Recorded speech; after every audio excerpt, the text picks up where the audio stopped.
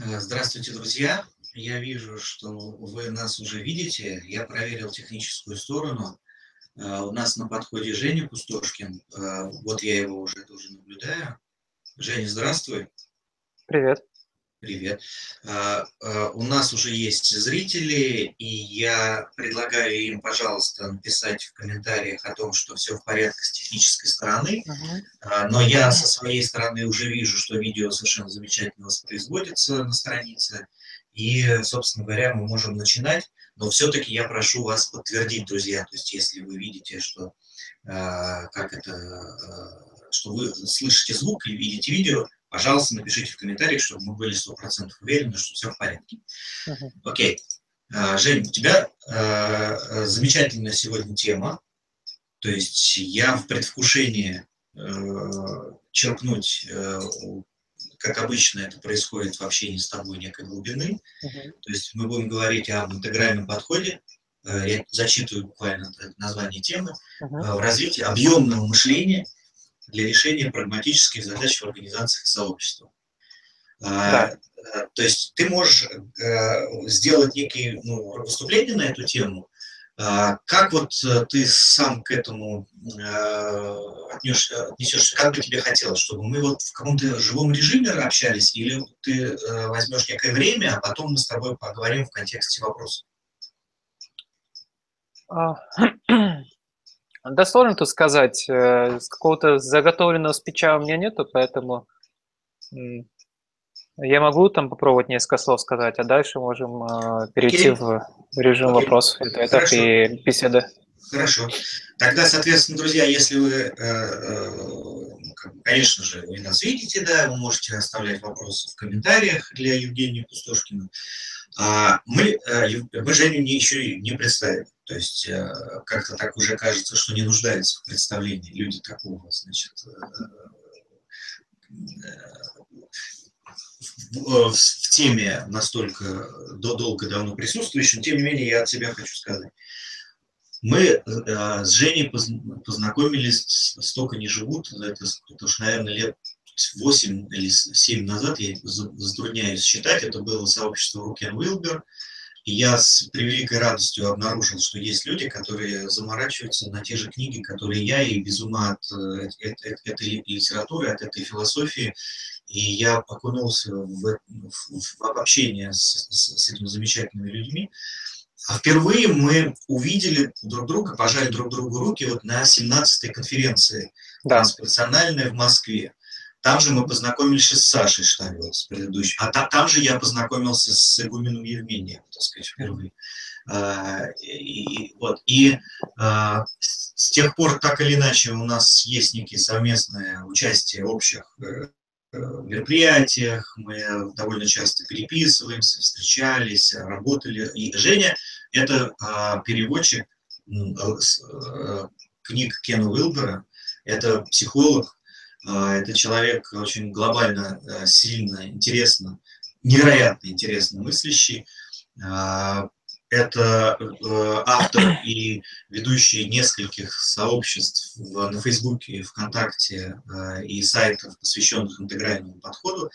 А, и далее я умолкаю, потому что я думаю, что все-таки Женя расскажет о себе еще, может, если я что-то упустил, о себе ты можешь рассказать.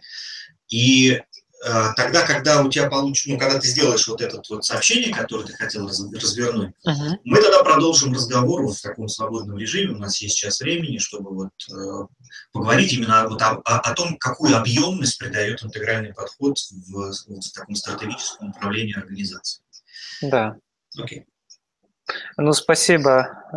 Я все время хочу тебя называть Анатолием, чтобы еще больше как бы Э, подчеркнуть, не знаю, вот уважение свое, которое я к тебе испытываю. Э, но все равно мы живые существа, поэтому Женя, Толя, вот так вот мы друг с другом и общаемся. Ну, на каких-то официальных мероприятиях я часто стараюсь там, говорить Анатолий. Вот. А, а скоро придет время, когда люди будут называть нас по имени-отчеству. Как тебя по батюшке, прости, Евгений Андреевич. Евгений Андреевич. Вот Евгений Андреевич Пустошкин, пусть я буду первым человеком, или, может быть, не знаю, не первым, который представит тебя так. Э, слово представляет себе Евгению Андреевичу Пустошкину. А, но я все-таки надеюсь на эволюцию сознания в нашей стране, и сейчас э, ведь тренд есть, ну, все меньше люди по батюшке называют друг друга, а все больше как бы, э, ну, чисто от сердца к сердцу, можно сказать. Но я еще дополнил бы про себя, вот эту самую репрезентацию, что я сооснователь и главный редактор журнала «Эрос и космос». Он находится по адресу eroscosmos.org. Космос через К пишется. Вот, это довольно значимый проект, который занимает ну, значительную часть моей жизни и значительную часть ребят, которые у нас э, в редакции работают. И также я ну, соосновал и являюсь ведущим, но, конечно же, я здесь больше как вот вчера э, Марина Данилова говорила про то, что их компания в роли такого моста э, выступает. А, ну как у них, метафора текущая их, организационная.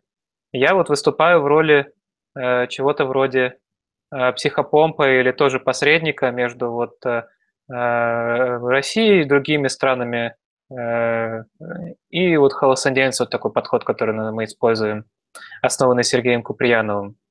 И вот сейчас мы намечаем э, контуры того, что Э, уже вот два, второй год я называю вместе с нашими ребятами, с нашей командой э, Международным интегральным институтом холосценденции, где одно крыло – это вот э, интегральная теория и практика, предложенная Кино Уилбером, а второе крыло, что птичка должна махать обоими крыльями, это вот холосценденское практическое применение интегрального подхода к сферам жизни, психотерапии, консультирования – Э, каких-то поведения тренингов, фасилитации. Э, ну и недавно мы основали э, проект, тоже хотел бы им с вами поделиться. Его вчера Елена Морозова и Елена Рюсе уже упоминали, это интегральное пространство. Наш санкт-петербургский проект, но мы не ограничиваемся только Санкт-Петербургом, то есть мы уже провели там какие-то первые мероприятия в Петербурге, в Москве вот мы организовывали э, секцию по интегральному подходу, где вот э, и Анатолий участвовал, и мы пригласили несколько интересных людей. Э, это было на мероприятии, называется э, ПИР, э, Академия Марка Кукушкина его организовывала, э, практики развития. Это такая большая организационная конференция. То есть э, задача и цель, наверное, моей деятельности и деятельности вот, э, наверное, всех проектов, с которыми я участвую, потому что те сущности, которые мы обозначили, они немножко разные, хоть они все взаимосвязаны в едином э, мешворке, но они при этом немножко разные. Э, задача и цель – это продвижение и углубление интегрального подхода в России и за рубежом. То есть я мыслю себя и гражданином России, и гражданином мира в каком-то смысле. А, в том смысле, что у меня много друзей э, в разных странах, и я интересуюсь очень европейской культурой, я очень э, переживаю иногда за то, что происходит с европейской культурой, и при этом радуюсь каким-то достижениям, и понимаю и мыслю Россию как э, страну, которая имеет и свое собственное лицо и, и сердце, и является э, издревле э, важной частью вот такого европейского самосознания, э, что, конечно же, э, в последнее время э, недопонято, мне кажется. То есть я бы когда-нибудь, может быть, сейчас я не готов на эту тему говорить, но мне вот интересна эта тема глобальной роли русского сознания именно не России как государства, там, не, не каких-то там системных вещей, хотя это все важно, но именно русское сознание, которое имеет какую-то уникальную свою окрашенную э, нашей культурой, нашей историей, нашими и страданиями, и радостями душу. Но это отдельная тема. А здесь я заявил тему, э, которая называется каким образом интегральный подход может приводить к развитию объемного мышления и как это может помогать развитию организаций и сообществ. Термин «объемное мышление» – это тот термин, который мы предлагаем в интегральном пространстве с Еленой Морозовой, Еленой Рюсе и Татьяной Парфеновой, Дмитрием Кузнецовым, мною, и мы планируем сотрудничать довольно широко с разными э, индивидуумами, организациями активистами вот в сфере интегрального подхода. Объемное мышление – это э, то, что у вас возникает, когда вы приближаетесь к интегральному видению, интегральному сознанию. Это то, что э, позволяет тот каркас, на основании которого у вас может возникнуть панорамное видение, то есть видение целостное, когда вы э, все сферы своей жизни все основные сферы своей жизни, допустим, профессиональные, прозреваете, просматриваете со всех возможных ракурсов, чтобы не оставались какие-то скрытые в вас э, слои опыта, субъекты какие-то ваши внутренние, внутренние карты, которые вы недоосознали, которые вас имеют, а вместо того, чтобы Э, быть объектами вашего осознавания, которым вы пользуетесь, как э, раскладывая пассианс. Вот. И объемное мышление позволяет вам быть не э, картой в этом пассиансе, которая раскладывает какие-то э, вышестоящие структуры сознания или там контекст какие-то более, более неос, неосознаваемые, а быть более активным участником и игроком в этот пассианс, несмотря на то, что все мы, конечно же, участвуем в этом Э, мировом пассиансе э, с диалектических э, позиций, может быть, а может быть и даже вообще с позиции глубины взаимосвязанности всего со всем. И все это происходит в пространстве диалога. Даже если вы занимаетесь монологом, как я сейчас, вот, мне очень трудно разговаривать с самим собой вот в этом вот формате вебинара, но я стараюсь как бы настраиваться с, хотя бы с чувством того, что Э, кто-то здесь э, присутствует и слушает э, меня. То есть на такой подводной лодке вот этого вебинара плыву, подаю сигналы в открытый космос, эти сигналы долетят или нет, это уже не мой бизнес, я вот пытаюсь так вот сделать. Я вообще хотел начать то, что я буду говорить. Я буду говорить не очень долго, ну, в таком монологическом режиме как Анатолий предложил, я думаю, может быть, более интересно будет вам послушать и посоучаствовать в диалоге. Но все-таки несколько слов я скажу. И одно из них оно касается того, что я думаю, что э, бизнес, э, предприниматели, мое отношение к этому, вот, чем, ну, чем взрослее человек становится, я еще э, достаточно молод, поэтому Э, нету, не было у меня, может быть, предыдущий год такого опыта, и я всегда как будто бы, ну, вот есть такое карикатурное изображение оранжевого э, мема по спиральной динамике, то есть ребята, которые бегут, не знают, куда в стратегическом плане, но все время бегут и э, только интересуются там выгодой. Вот такая карикатура. Вот, и, разумеется, в нашей стране есть такое культурное непонимание, что такое дух свободного предпринимательства, да и э, были и остаются какие-то сложности в, на, в той атмосфере, в которой все это происходит. Э, но уже на, ну, на, ну, э, уже на дворе 2016 год, и тема вот этой конференции – это эволюция. Эволюция не стоит на месте. Все наши культурные пласты и социокультурные пласты, они эволюционируют. И если вы ходите а, по улицам, не знаю, ну, по крайней мере, основных городов-миллионников России. Я вот имею а, привилегию и счастье, и радость э, постоянно как-то курсировать между Петербургом, э, Москвой, Нижним Новгородом. В декабре мы э, с семинаром по холосценденции поедем в Екатеринбург, и я увижу тоже, каково это.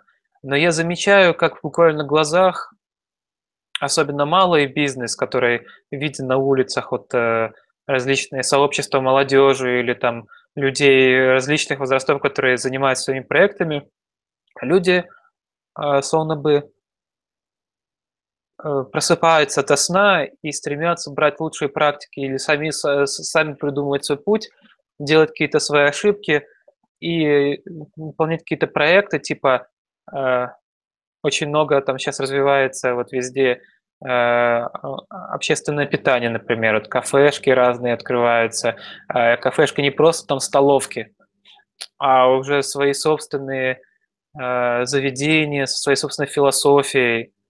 Э, вот в Санкт-Петербурге Э, чему я всегда радуюсь и удивляюсь, в пешей доступности, вот примерно там ты можешь полчаса в разные стороны в центре идти, и ты, у тебя будет в пешей доступности доступны где-то 10-15 вегетарианских кафе и ресторанов разные, разного класса э, со своей философией, со своими э, дизайнами интерьера. То есть все это развивается.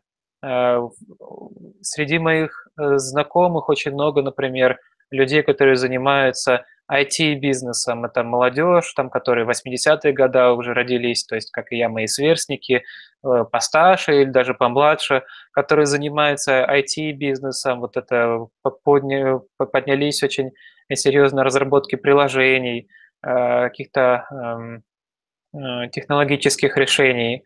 И они также очень мыслят современно и пытаются брать примеры, допустим, ну, иногда немножко копируют, но очень много индивидуальностей есть, которые действительно по-своему все ассимилируют. Брать пример с, там, с Кремниевой долины, и некоторые даже уезжают в Калифорнию, э, там э, успешно ведут бизнес или там не, не так успешно, там возвращаются. В общем, все это интересно. То есть мы развиваемся, наше русскоязычное поле, оно развивается. И хотя раньше я думал, что бизнесмены, предприниматели, был такой стереотип, это абсолютно, я вам говорю, это не, не отрефлексированный э, стереотип, там, может быть, 10 лет назад, который у меня мог быть, э, но то, что люди, которые занимаются бизнесом и пытаются урвать что-то себе, это, разумеется, все абсолютно наивный взгляд на эти вещи, что-то он отражает, но глубинную суть предпринимательства не отражает. То есть было мысль, что это какие-то узколобые люди. Однако сейчас, э, на мой взгляд, вот как, как бы вот это вот за эти годы, то, что у меня произошла эволюция моего видения, не только корпоративного сектора, там крупные каких-то люди, которые работают в недрах э, крупных многотысячных корпораций, где там свои какие-то сложности есть, насколько я э, знаю, и успел побеседовать с людьми, которые много лет работали там, но и сам средний и малый бизнес. Очень часто среди особенно собственников бизнеса, генеральных директоров, э, встречаются очень продвинутые, э, стремящиеся к целостности и не ставящие перед собой идеологических барьеров, ну, ненужных, ограничивающих убеждений люди. Люди, которые э, ну, мыслят сами за себя, то есть то, что Роберт Киган называет как минимум а, стадии самоавторствующего разума. То есть люди, авторы своих собственных ценностей, э, принципов, которые они реализовывают а, в России, в Европе, в Америке. А, ну, нас интересует, может быть, меня, по крайней мере, интересует про Россию. В России тоже таких людей очень много.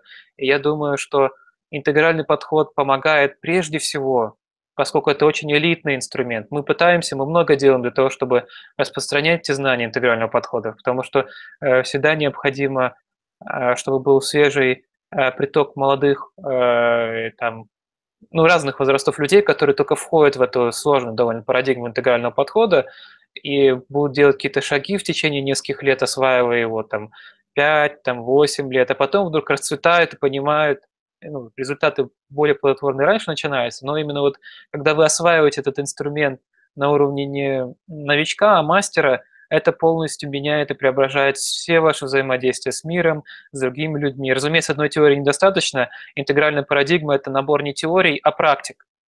Он показывает вам, какие вы э, можете выполнять практики в различных квадрантах, вот этих квадрантах э, сознания, э, мозг, поведение, межличностные отношения и культура. В рамках организации называется, так, в кавычках, корпоративная культура.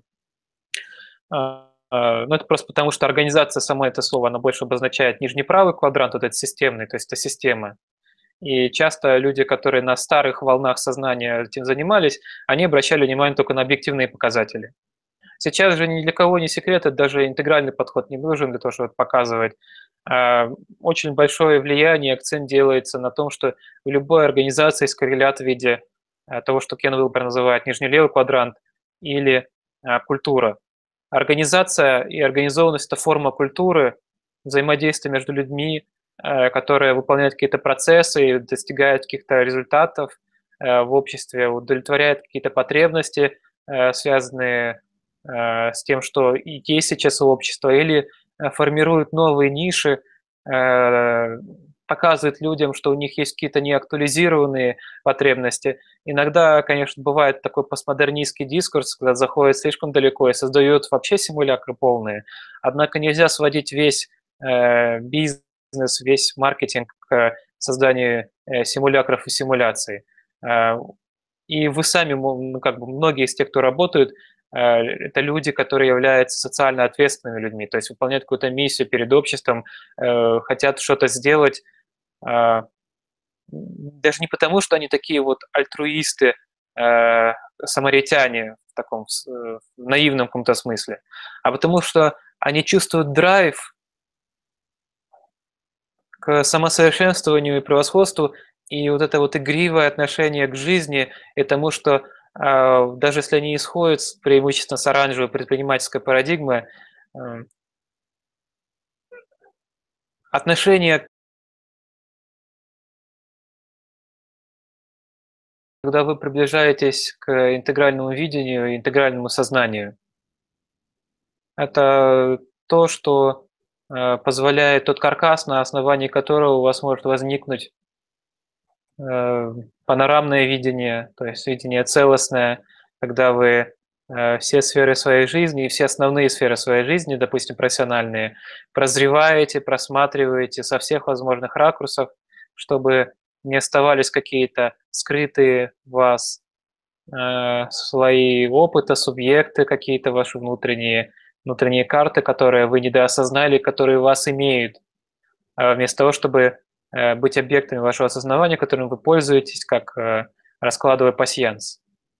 Вот. И объемное мышление позволяет вам быть не э, картой в этом пассиансе, которая раскладывает какие-то э, вышестоящие структуры сознания или там контекст какие-то более, более неос, неосознаваемые, а быть более активным э, участником и игроком в этот пассианс, несмотря на то, что все мы, конечно же, участвуем в этом Э, мировом пассиансе э, с диалектических э, позиций, может быть, а может быть и даже вообще с позиции глубины взаимосвязанности всего со всем. И все это происходит в пространстве диалога. Даже если вы занимаетесь монологом, как я сейчас, вот, мне очень трудно разговаривать с самим собой вот в этом вот формате вебинара, но я стараюсь как бы настраиваться с, хотя бы с чувством того, что кто-то здесь э, присутствует и слушает э, меня. То есть я на такой подводной лодке вот этого вебинара э, плыву, подаю сигналы в открытый космос, эти сигналы долетят или нет, это уже не мой бизнес, я вот пытаюсь так вот сделать. Я вообще хотел начать то, что я буду говорить. Я буду говорить не очень долго, ну, в таком монологическом режиме как Анатолий предложил, я думаю, может быть, более интересно будет вам послушать и посоучаствовать в диалоге. Но все-таки несколько слов я скажу. И одно из них, оно касается того, что я думаю, что э, бизнес, э, предприниматели, мое отношение к этому, вот, чем, ну, чем взрослее человек становится, я еще э, достаточно молод, поэтому Э, нету, не было у меня, может быть, предыдущий год такого опыта, и я всегда как будто бы, э, ну, вот есть такое карикатурное изображение оранжевого э, мема по спиральной динамике, то есть ребята, которые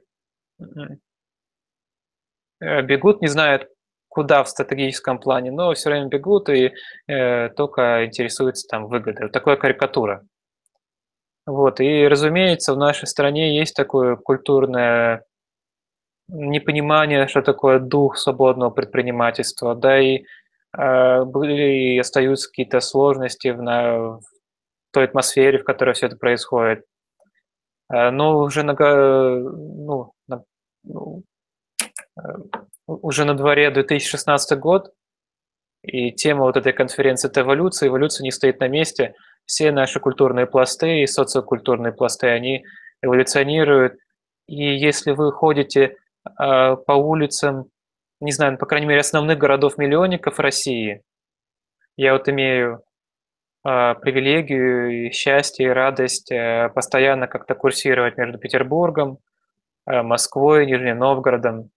В декабре мы Э, с семинаром по холосценденции поедем в Екатеринбург, и я увижу тоже, каково это. Но я замечаю, как буквально на глазах, особенно малый бизнес, который виден на улицах, вот э, различные сообщества молодежи или там людей различных возрастов, которые занимаются своими проектами, люди э, словно бы Э, просыпаются от сна и стремятся брать лучшие практики или сами, сами придумывать свой путь, делать какие-то свои ошибки и выполнять какие-то проекты, типа очень много там сейчас развивается вот везде э, общественное питание, например, вот кафешки разные открываются, кафешки не просто там столовки, а уже свои собственные заведения со своей собственной философией, Э, вот в Санкт-Петербурге, э, к чему я всегда радуюсь и удивляюсь, в пешей доступности, вот примерно там ты можешь полчаса в разные стороны в центре идти, и ты, у тебя будет в пешей доступности доступны где-то 10-15 вегетарианских кафе и ресторанов разные, разного класса э, со своей философией, со своими дизайнами интерьера. То есть все это развивается.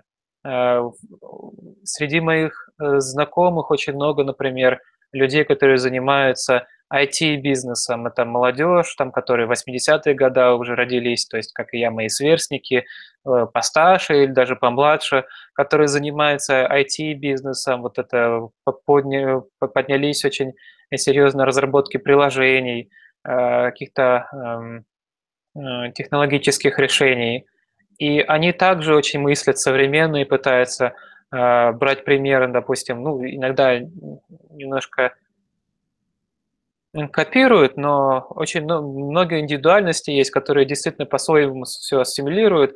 Брать пример с, там, с Кремниевой долины, и некоторые даже уезжают в Калифорнию, а, там а, успешно ведут бизнес или там не, не так успешно, там возвращаются.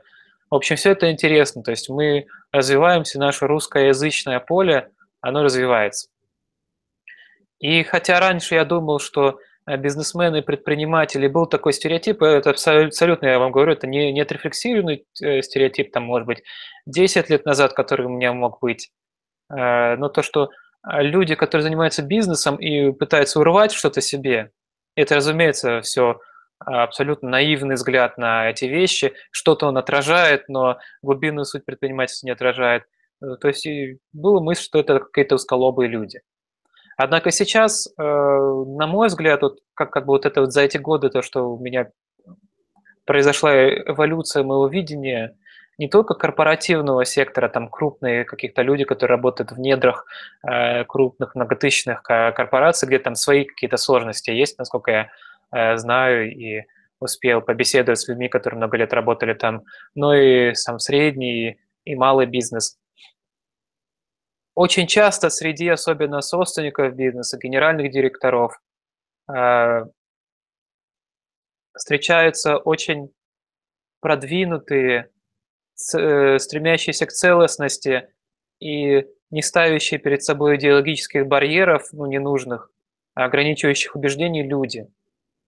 Люди, которые э, ну, мыслят сами за себя, то есть то, что Роберт Киган называет как минимум а, стадии самоавторствующего разума, то есть люди, авторы своих собственных ценностей, э, принципов, которые они реализовывают а, в России, в Европе, в Америке. А, ну, нас интересует, может быть, меня, по крайней мере, интересует про Россию. В России тоже таких людей очень много. И я думаю, что интегральный подход помогает прежде всего поскольку это очень элитный инструмент. Мы пытаемся, мы много делаем для того, чтобы распространять те знания интегрального подхода, потому что э, всегда необходимо, э, чтобы был свежий э, приток молодых, там, ну, разных возрастов людей, которые только входят в эту сложную довольно парадигму интегрального подхода и будут делать какие-то шаги в течение нескольких лет, осваивая его там 5, там, 8 лет, а потом вдруг расцветают и понимают, ну, результаты более плодотворные раньше начинаются, но именно вот когда вы осваиваете этот инструмент на уровне не новичка, а мастера, это полностью меняет и преображает все ваши взаимодействия с миром, с другими людьми. Разумеется, одной теории недостаточно. Интегральная парадигма – это набор не теорий, а практик. Он показывает вам, какие вы э, можете выполнять практики в различных квадрантах, вот этих квадрантах э, сознания, э, мозг, поведение, межличностные отношения и культура. В рамках организации называется, так, кавычка, корпоративная культура. А, ну, это просто потому, что организация, само это слово, оно больше обозначает нижний правый квадрант, вот этот системный, то есть это система. И часто люди, которые на старых волнах сознания этим занимались, они обращали внимание только на объективные показатели. Сейчас же ни для кого не секрет, это даже интегральный подход не нужен для того, чтобы показывать. А, очень большое влияние, акцент делается на том, что в любой организации есть коррелят в виде а, того, что Кен Уилбер называет нижний левый квадрант, или культура. Организация и организованность – это форма культуры, взаимодействия между людьми, которые выполняют какие-то процессы, достигают каких-то результатов в обществе, удовлетворяют какие-то потребности, связанные с тем, что есть сейчас у общества, или формируют новые ниши, показывает людям, что у них есть какие-то неактуализированные потребности. Иногда, конечно, бывает такой постмодернистский дискурс, когда заходит слишком далеко и создает вообще симулякры полные.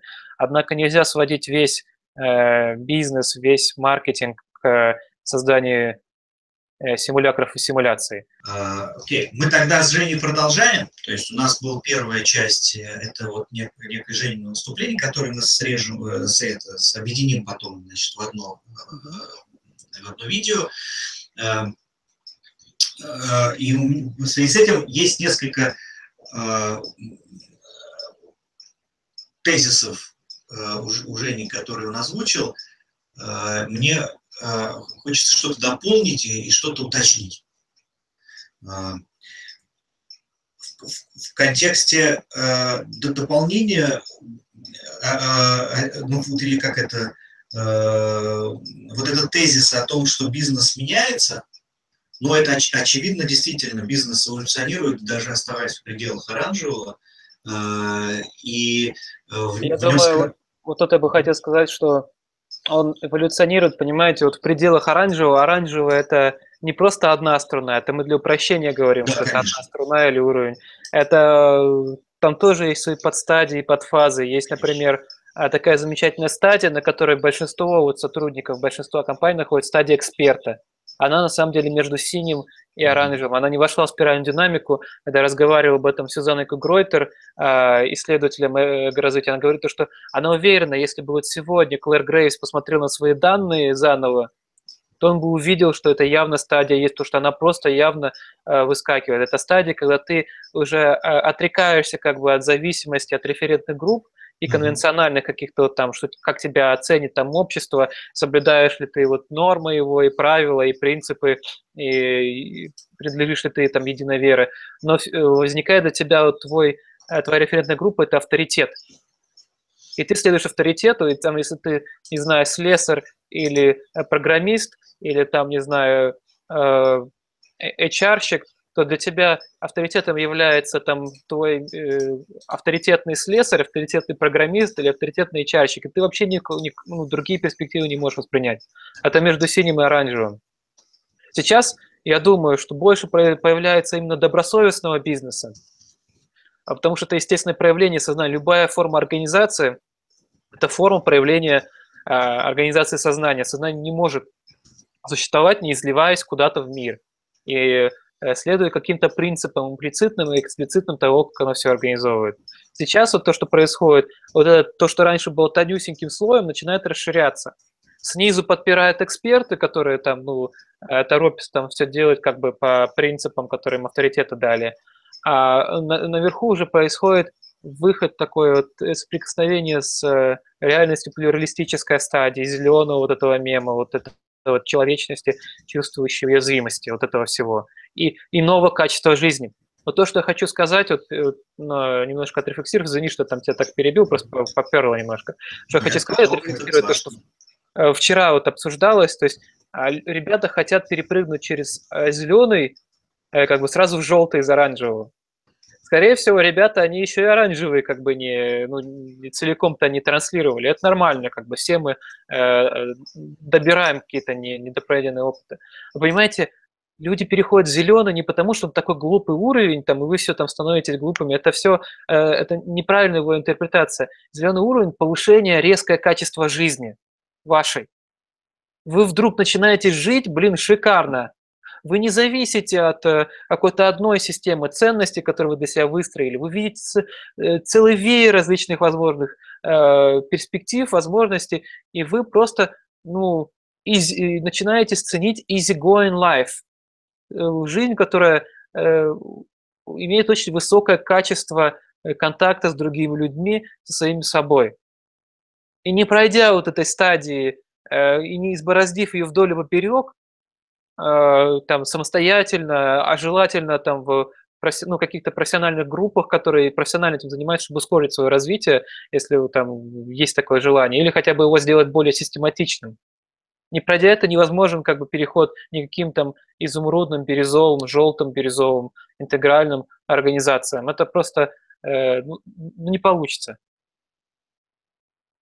А, а, э, либо вот у меня будет э, по этому поводу завтра вопрос к Сергею Солонину, который любезно согласился э, выступить у нас на конференции. То есть это ну, исключительно как бы глубокий опытный человек, который создавал похожие на вот эти вот лалушные организации в России, либо, либо, наверное, нужно не перевоспитывать, а набирать людей по каким-то особым критериям, которые так Конечно. уже избороздили.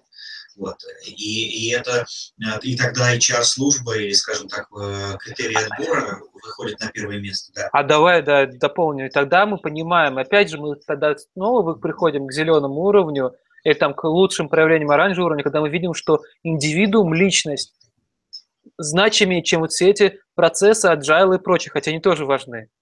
Где ты возьмешь, извините меня, э, зрелого, здорового, проработанного, как бы я, я про себя даже не говорю, может быть, я тоже не, не оттуда, но добросовестного оранжевого человека или э, действительно мощно э, проявленного, интегрированного плюралиста или э, стратега, то есть там зеленый, желтый, вот, э, вот эти уровни каждый человек становится на вес золота.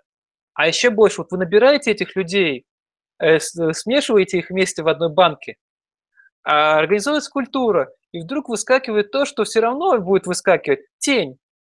А как вы проработаете эту тень? Какие методы есть там работы с тенью? Их, их, их-то не так-то много, потому что измерение игнорируется. Это то, что мы привыкли игнорировать, то, с чем мы привыкли ожесточенно бороться, отрицать. И выстраивать эту корпоративную культуру необходимо ну, годами. Это люди, которые создают, то есть создают успешные компании с успешными процессами, они все знают, они подбирают часто, там, ну, разные способы есть, разумеется, но часто ты подбираешь вот прямо вот, очень уникальным образом вот, констелляции людей, которые друг с другом подходят. Ну, то, что Марина Данилова вчера рассказывала, примерно такой процесс происходит в разных формах, в разных видах, в разных творческих ипостасях. Согласен. А, а еще был у тебя такой интересный тезис относительно того, что а, в каком-то смысле а, бизнес является э, для России и, ну и вообще, как бы вот, э, приходя туда, где бизнеса еще не было, бизнес является чем-то таким очень, ну, это, это становится похоже на то, как проповедник пришел э, пропагандировать религию языческие, э, то есть это как, э, как некое движение, э,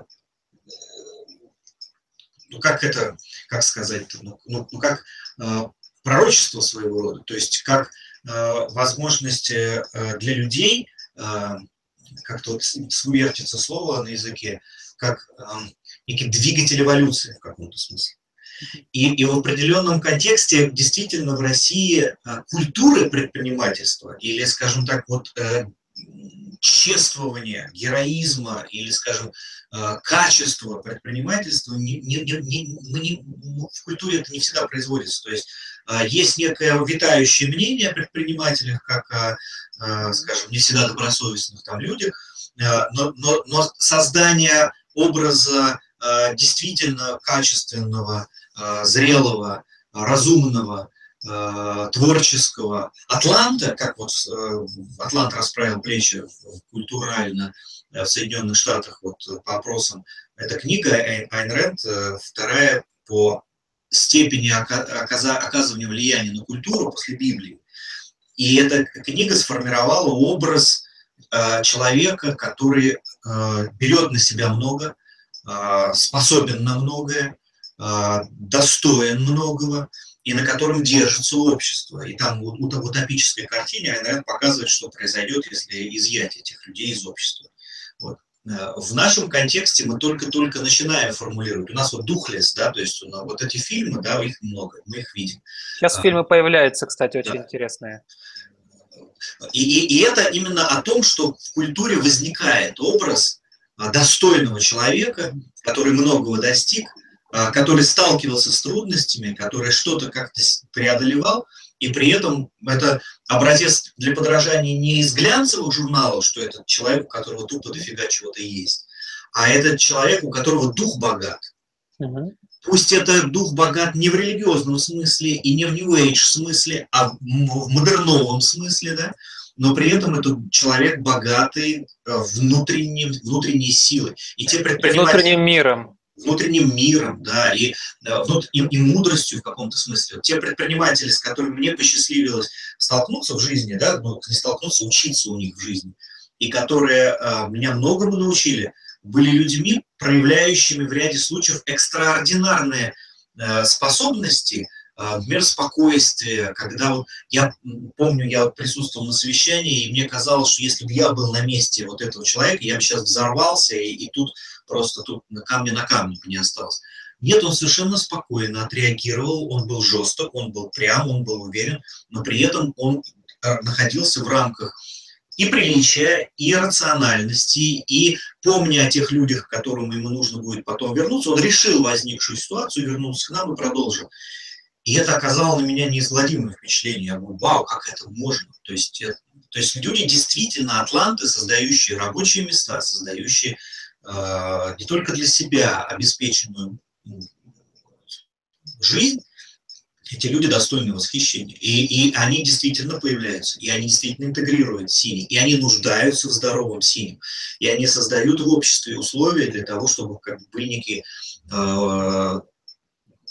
действительно значимые э, законы, порядки, э, ну, значимые общие равные условия, в которых можно было бы разворачивать, э, на, на, на чем стоит оранжевый. То есть, э, вот смотри, вот здесь мы приходим вот именно вот к этому, к тому же, что высвечивает интегральный подход, что а, ты здесь подчеркиваешь роль социокультурного фона.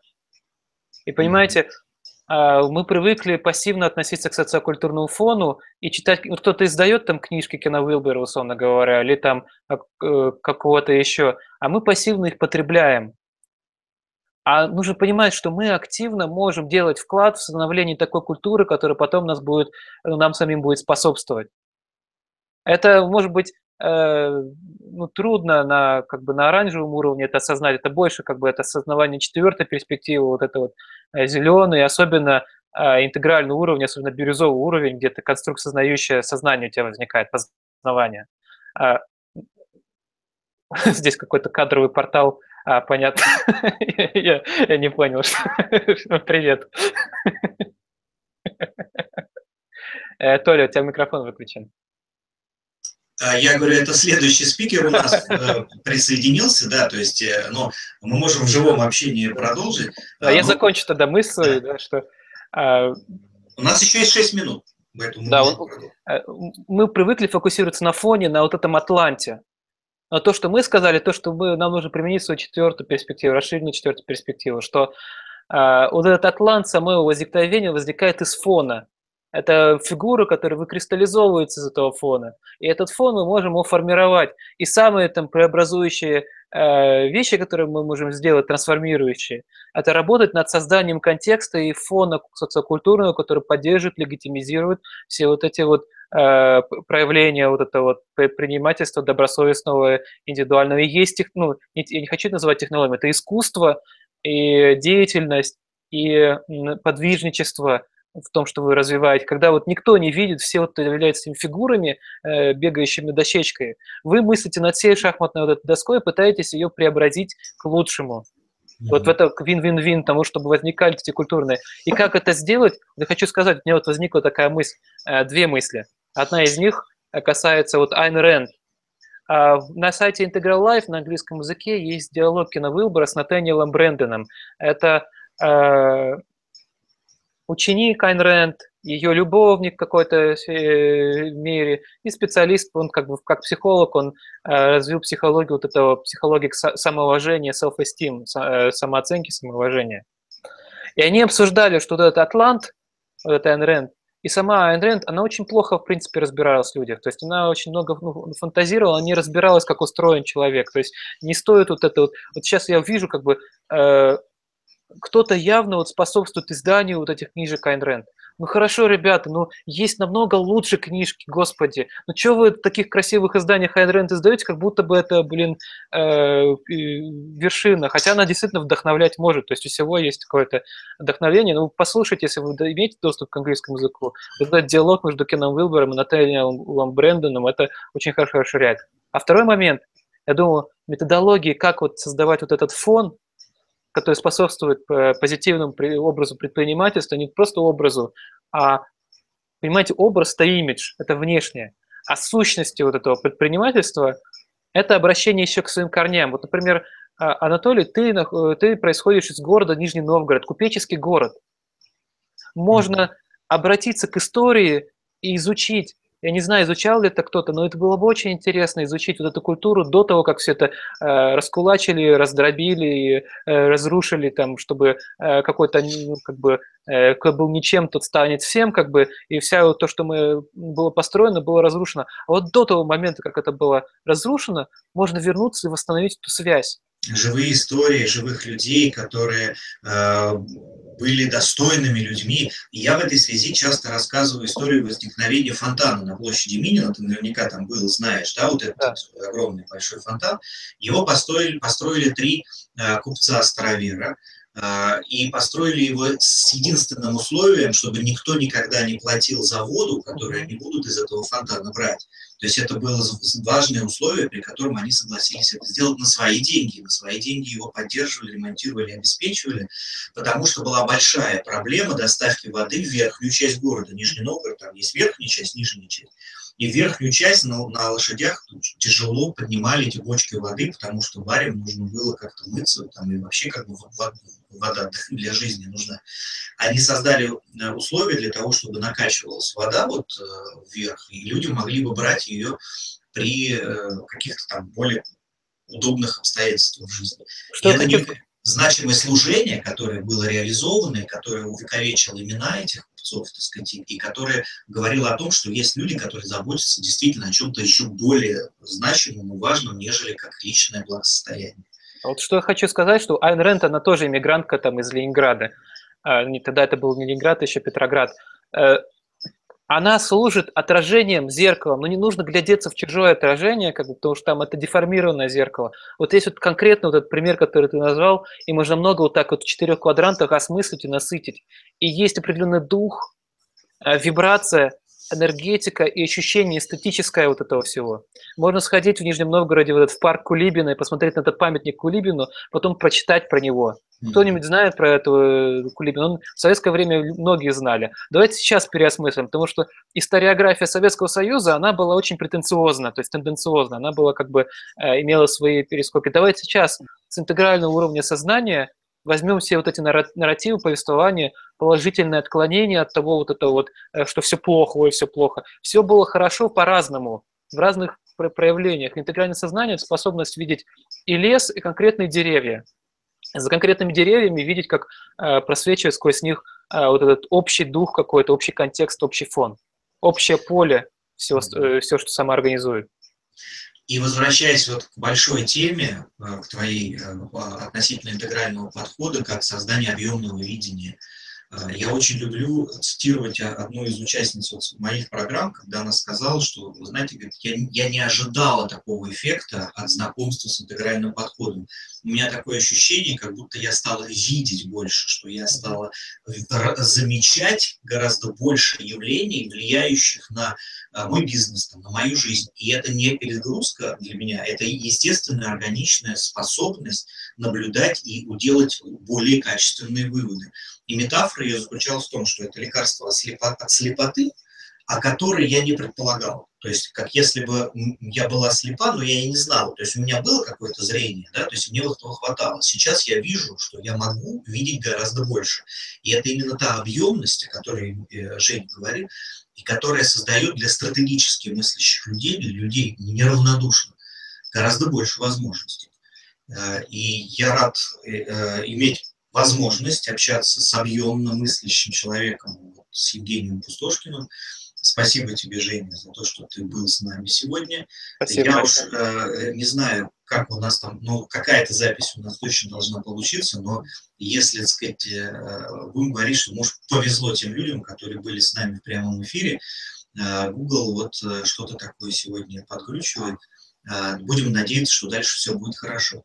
Э, будь здоров, всех благ, Э, увидимся в Питере. Кстати, я буду в Питере вот на э, мероприятии 14, по-моему, ноября. Да, 14 ноября будет круглый стол впервые в России, наверное, ну, один из первых таких мероприятий э, общей направленности про вертикальное развитие или психологию развития взрослых людей. Наше развитие не завершается в 16 лет, есть много стадий более сложного комплексного развития. Спиральная динамика одна из таких моделей. Ну, она в других сферах тоже применима, но и в этой сфере тоже. Есть много моделей, в том числе на уровне Гарварда. В течение последних 30 лет они отрабатывались в других э, университетах. В России этой сферы психологии взрослого развития нет. И вот благодаря там усилиям Екатерины Нависовой, э, других э, товарищей, я стараюсь этому помогать, и наше интегральное пространство будет помогать этому. Мы будем развивать в России знания о психологии зрелости, психологии взрослого развития, обо всех вот этих замечательных стадиях объемного мышления и сознания,